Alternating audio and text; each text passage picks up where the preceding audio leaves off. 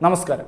ആയിരത്തി തൊള്ളായിരത്തി അറുപത്തി രണ്ടിലെ ഇന്ത്യ ചൈന യുദ്ധത്തിൽ രാജ്യത്തിന് വേണ്ടി വീരമൃത്യു വരിച്ച ഭാരത സൈനികർക്ക് സമർപ്പണമായി എഴുതിയ ദേശഭക്തി ഗാനമാണ് മേരെ വതൻ കി ലോഗോ ആയിരത്തി തൊള്ളായിരത്തി അറുപത്തി മൂന്നിലെ റിപ്പബ്ലിക് ദിന ചടങ്ങിൽ ദില്ലിയിലെ നാഷണൽ സ്റ്റേഡിയത്തിൽ ജനസഹസ്രങ്ങളെ സാക്ഷിയാക്കി രാഷ്ട്രപതി ഡോക്ടർ എസ് രാധാകൃഷ്ണനും പ്രധാനമന്ത്രി ജവഹർലാൽ നെഹ്റുവും അടക്കം നിരവധി പ്രശസ്തർ സന്നിഹിതരായ വേദിയിൽ ആ വരികൾ ഭാരതത്തിന്റെ വാനമ്പാടി ലതാ മങ്കേഷ്കർ ആലപിക്കുമ്പോൾ ഓരോ ഭാരതീയന്റെയും നാടി ഞരമ്പുകളിൽ ദേശസ്നേഹം അലയടിക്കുകയായിരുന്നു. ഓരോ ഭാരതീയന്റെയും ഹൃദയങ്ങളിൽ ഇന്നും തുടിക്കുന്ന അത്ഭുത വരികൾ എഴുതിയത് കവി പ്രദീപ് എന്ന അനശ്വരനായ എഴുത്തുകാരനായിരുന്നു. ഓരോ അക്ഷരവും ഓരോ വരിയും രാജ്യത്തിനായി എഴുതപ്പെടുമ്പോൾ രാജ്യസ്നേഹം തുളുമ്പുന്ന ഹൃദയങ്ങളിൽ നിന്ന് പുറത്തേക്കൊഴുകുമ്പോൾ ആ ഗാനത്തിന് വന്നു ചേരുന്ന അസാമാന്യ ആകർഷണ ശക്തി പ്രകടമായ ഗാനമാണ് മേരെ വദൻ കി ലോകോ. കവി പ്രദീപ് പകരം വെക്കാനാവാത്ത ദേശസ്നേഹിയായിരുന്നു. അദ്ദേഹത്തിന്റെ ജന്മദിനമാണിന്ന് ലതാജിയുടെ ചരമദിനവും. ആ ഗാനം ആലപിക്കാനായി പ്രദീപ് ജി ലതാ മങ്കേഷ്കറോട് പറയുമ്പോൾ തിരക്കുകൾ കാരണം റിഹേഴ്സലിന് വേണ്ട സമയമില്ലാത്തത് കാരണം അവർ ഒഴിഞ്ഞു മാറാൻ ശ്രമിച്ചു. പക്ഷേ ആ വരികളുടെ മാസ്മരികത രാജ്യസ്നേഹിയായ ലതയെ വല്ലാതെ ആകർഷിച്ചു. ഒടുവിൽ ആയിരത്തി തൊള്ളായിരത്തി അറുപത്തി മൂന്ന് ജനുവരി ഇരുപത്തിയാറിന് രാജ്യ തലസ്ഥാനത്ത് ആദ്യമായി ആലപിക്കപ്പെട്ടപ്പോൾ ജനം ആ സൃഷ്ടിയെ ഹൃദയ പത്മങ്ങളിൽ ഏറ്റുവാങ്ങുകയായിരുന്നു.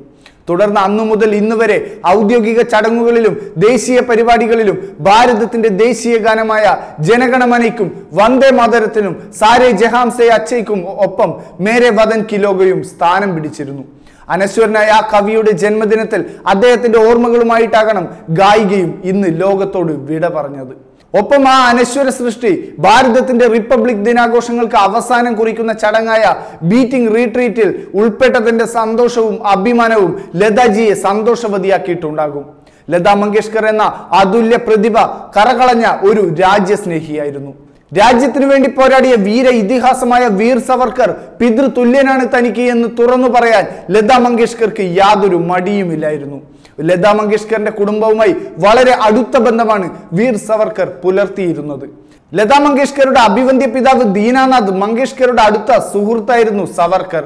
ദീനാനാഥിന്റെ നാടക കമ്പനിക്ക് വേണ്ടി സവർക്കർ സന്യാസഘാതക് എന്നൊരു നാടകം എഴുതിയിട്ടുണ്ട്. അതിലൊരു ഗാനവും അദ്ദേഹം രചിച്ചു നൽകിയിട്ടുണ്ട്. സജ്ജന്മ ഷോഡിതനാം എന്ന് തുടങ്ങുന്ന ആ ഗാനം നിരവധി തവണ സാമൂഹ്യ മാധ്യമങ്ങളിൽ ലതാ മങ്കേഷ്കർ പങ്കുവച്ചിട്ടുമുണ്ട്. അച്ഛൻ അല്ലെങ്കിൽ പിതൃതുല്യൻ എന്നൊക്കെ അർത്ഥമുള്ള താത്യ എന്നാണ് മങ്കേഷ്കർ സവർക്കറെ വിളിച്ചിരുന്നത്. അവർ തമ്മിലുള്ള ബന്ധം അത്രത്തോളം ആഴമുള്ളതായിരുന്നു. സവർക്കറുടെ ജന്മ ചരമദിനങ്ങളിൽ അദ്ദേഹത്തിന് ആശംസകൾ അർപ്പിക്കാനും സവർക്കർ രാജ്യത്തിന് നൽകിയ സംഭാവനകൾ എണ്ണി എണ്ണി പറയാനും ലതാ മങ്കേഷ്കർ മടി കാണിച്ചിരുന്നില്ല. ഒരു സദസ്സിൽ പരാമർശിക്കുമ്പോൾ സവർക്കറെ ഭാരത മാതാവിന്റെ യഥാർത്ഥ പുത്രൻ എന്നാണ് ലതാ മങ്കേഷ്കർ അഭിസംബോധന ചെയ്തിരുന്നത്. ലതാ മങ്കേഷ്കറുടെ വിയോഗം മൂലം സംഗീതത്തിന്റെ ഒരു മഹാവസന്തം മാത്രമല്ല ഇല്ലാതാവുന്നത്. നമ്മുടെ ഭാരതത്തെ നെഞ്ചോട് ചേർത്ത് സ്നേഹിച്ച ഒരു യഥാർത്ഥ രാജ്യ സ്നേഹിയെ കൂടിയാണ് നമുക്ക് നഷ്ടമാകുന്നത്. Web desk Tatwamayi news